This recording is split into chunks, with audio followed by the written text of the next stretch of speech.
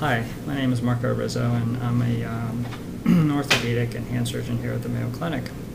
Um, I'm going to talk to, uh, briefly about a, a, subject called uh, Dupuytren's contracture.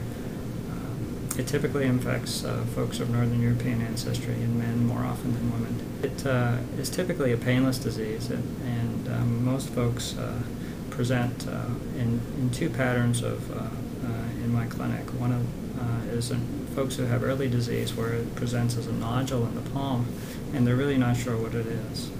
And another uh, group of patients are patients who've known they've had it for a long time and uh, now have limited motion as a result of the, uh, of the contracture. And effectively that's what happens. The nodule can evolve into cords and fortunately it doesn't happen very rapidly. It takes time but the nodules evolve into cords and ultimately will draw the fingers down, limiting the patient's ability to extend and open their hand.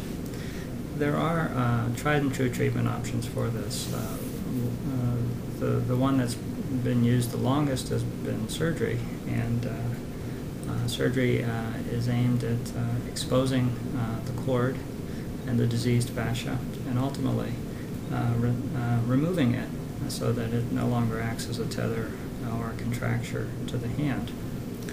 Uh, it does carry uh, its own set of risks, uh, risk of anesthesia, there's risks associated with surgery, every surgery, including this one. And uh, unfortunately, uh, surgery doesn't really cure the disease, and recurrence is a common theme.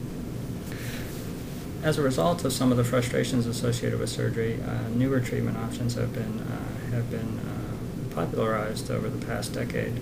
One of them is a needle aponeurotomy procedure, which is an office procedure which uh, is aimed at releasing the cord. It doesn't remove the cord, it releases the cord. And it is done uh, in a way that uh, can be done in the office by numbing up the skin and the finger along the cord in evenly spaced intervals of about a centimeter or so. And with a small amount of numbing medicine, you can anesthetize the skin while preserving the nerves uh, that provide feeling to the fingertip. It's important to have that preservation so that when you're doing the needle procedure that you can get feedback from the patient about any sensations of electrical shock that uh, may indicate that the needle is close to the nerve.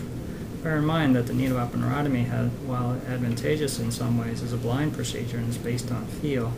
And uh, there are nerves and arteries on both sides of the cord typically um, that that are at risk. Um, so we use that information to help us. In addition, when I do the needle aponeurotomy procedure, I do it with a colleague, Dr. Bro, who has an ultrasound and maps out where the vessels and nerves are, as the nerves run with the vessels typically, uh, to uh, make the procedure as safe as possible. Nevertheless, those, those structures are at risk. After anesthetizing along the cord, you use the needle as a knife. The bevel of the needle is then inserted where the skin is anesthetized, and you effectively cut the cord at each of those levels. It's akin to cutting a loaf of bread blindly. You're cutting maybe 80 or 90% of it at this level, 80, 90% at this level, 80 or 90% at this level, and, and so on. And effectively, hopefully it's not the same 80 or 90% at each of those levels. So now you've uh, rendered the cord weak enough so that you can do a forceful extension and ultimately free up the hand.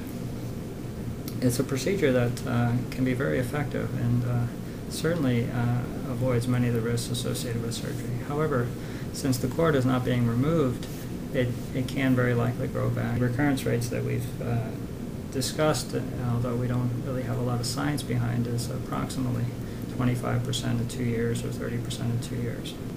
A lot of those recurrences aren't as bad as the original uh, uh, time when, uh, when the patients do present. And a lot of folks would suggest that you could simply do the needle procedure again if, the, if they were to recur. Approximately a year and a half ago, there uh, a new uh, medication called Xiaflex uh, uh, got FDA approval uh, to be utilized in the treatment of Dupuytren's contracture. Uh, Xiaflex is a collagenase. It's an enzyme that eats the collagen. So in my mind, it's effective to a chemical dissolution of the cord rather than a mechanical cutting of the cord that you would see with needle aponeurotomy. Patients who've had needle aponeurotomy and also collagenase seem to report that the collagenase is a more pleasant experience for them overall.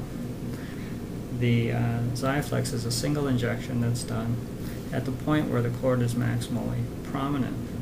And um, it effectively covers about a five millimeter uh, uh, area uh, longitudinally of the cord, and the patient uh, receives the injection and comes back the next day for hopeful release of the cord.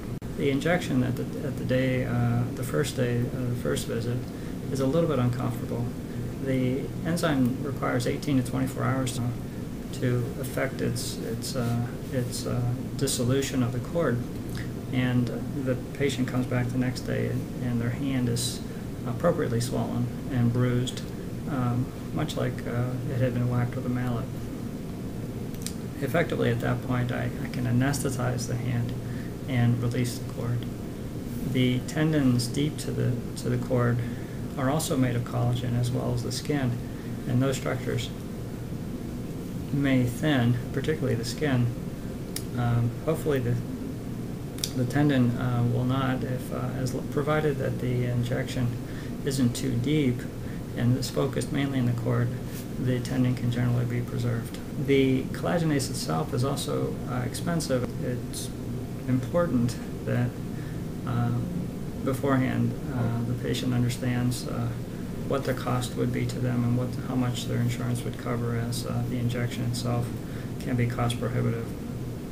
Finally, the injection is only allowed to be in, uh, performed uh, in one person every 30 days. So if you have multiple cords and multiple and both hands affected, uh, it would be uh, you'd have to prioritize which cords you'd like to treat, and then uh, um, as you get successive treatments, uh, you would have to come back 30 days for repeat injections for other cords. There's a lot of exciting new things uh, in terms of treatments for Dupuytren's, and I, I think it's uh, something that uh, over time we'll gather more information about which treatment may be better than others uh, as we look at needle aponeurotomy a little closer, as well as the collagenase. And while I still perform surgery, many patients have opted for some of the uh, newer uh, uh, treatment options uh, for obvious reasons. Thank you.